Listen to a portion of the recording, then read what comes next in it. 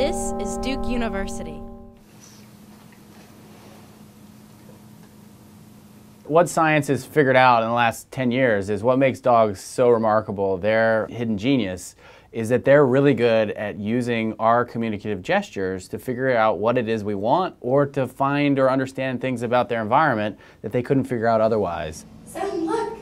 Usually the way people think about the origin of dogs is that man created dogs in our image. But what we've discovered over the last 10 years is really what's most likely to have happened is that dog chose us and that by choosing us, they actually became more friendly and we now know that accidentally, as they became more friendly, they also got smarter and better at using our um, communicative gestures. Okay. Oh, good try.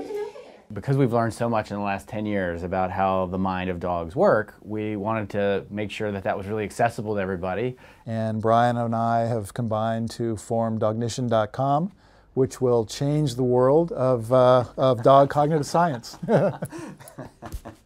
Dognition is the personalization of the research that Brian has done. The Genius of Dogs, the book, is about all dogs and what we know about all dogs. Dognition allows you to apply that to your dog. Sit. You go onto the site, learn about activities and games to be played that we prescribe and teach you how to do. Okay. As you're doing it, you press the, the mobile app on your phone or on your iPad.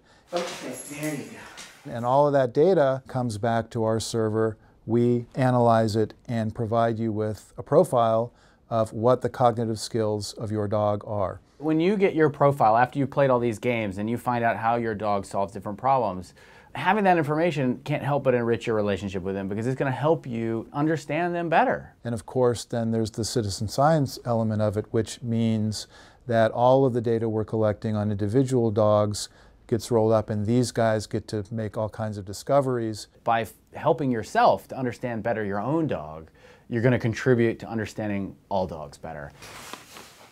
It's hard to believe we could have an even better relationship with dogs that we already have, but actually we can.